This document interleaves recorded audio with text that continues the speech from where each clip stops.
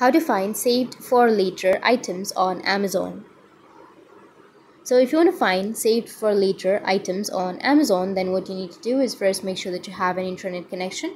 Once you have the internet connection, you need to open up your Amazon. If you have your application, you can go with the application. Or if you don't have, then you can go with your browser. After opening your Amazon, make sure that you've logged into your account. Now you need to select the item uh, for example if I have an item that I've saved for later and if you want to watch that save for later item then what you need to do is just simply go with your cart which will be on the top right on your browser or on the bottom right on your application. So go with the cart icon. Now on cart in my cart my cart is empty right? But if you have any items then you will have the items on your cart.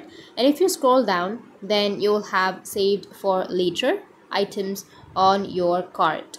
You just need to simply scroll down a bit and you will find saved for later items.